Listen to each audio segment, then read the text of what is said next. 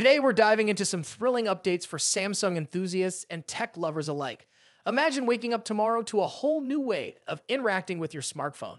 That's exactly what Samsung's upcoming One UI 7.0 promises a major overhaul that might just redefine your Galaxy experience. From sleek new designs to cutting edge features powered by AI, Samsung is making big moves, and we're here to unpack it all for you. Stick around because we've got exclusive details, comparisons, and tips you won't find anywhere else. Trust me, you don't want to miss this.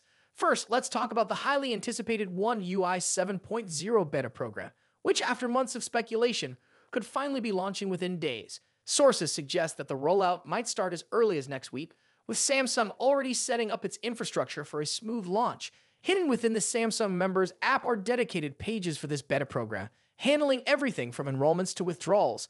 This level of preparation signals that Samsung is laser focused on delivering a seamless user experience. Early adopters in South Korea and the USA could get their hands on the beta first, followed by key markets like India, Germany, and the UK. For those eager to try it out, it's as simple as ensuring your device is compatible, updating the Samsung members app to the latest version, and of course, backing up your data. Beta versions, while exciting, can sometimes be a bit unstable. But the question remains is it worth the risk? Speaking of risks, let's pivot to a topic that always sparks debate smartphone wars. Apple and Samsung have been at it for years, and 2024 is no exception. On one side, we have the iPhone 16 Pro Max with its sleek flat edge design and a massive 6.9 inch OLED display. On the other, Samsung's Galaxy S24 Ultra steps up with its signature curved display and integrated S Pen, making it a productivity powerhouse. Both devices bring their A game, but where do they truly shine? Take displays for instance. While Apple boasts brighter and more natural tones, Samsung's anti-reflective A and screen makes outdoor visibility a breeze. Then as the performance aspect. Apple's A18 Pro chip is a marvel of efficiency, keeping the phone cool even during intense tasks. Samsung counters with the Snapdragon 8 Gen 3, a graphics beast perfect for gamers. Each has its strengths, but the real winner depends on how you use your phone.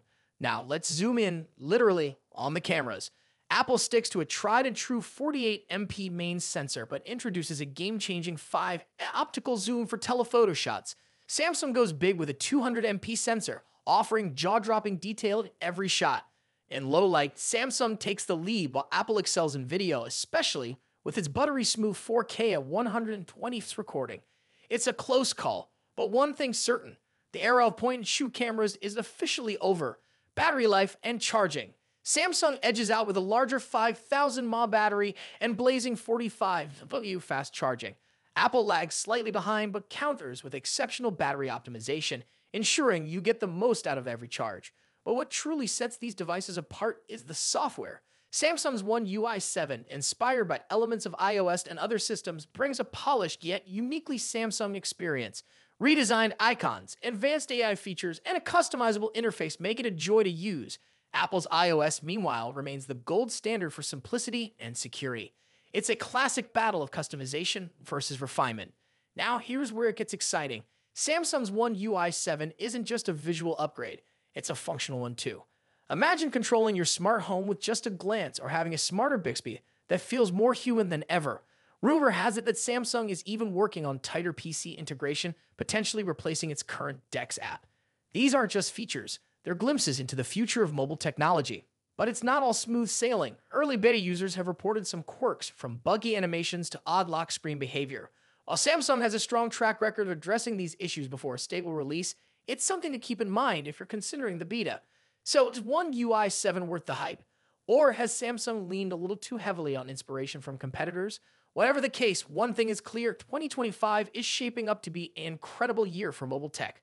Whether you're Team Apple, Team Samsung, or somewhere in between, there's never been a better time to be a tech enthusiast. If you've made it this far, congratulations, you're officially ahead of the curve. Don't forget to like, subscribe, and share your thoughts in the comments. Are you excited about One UI 7? Which features are you most looking forward to? Let's keep the conversation going. Thanks for watching, and we'll catch you in the next one.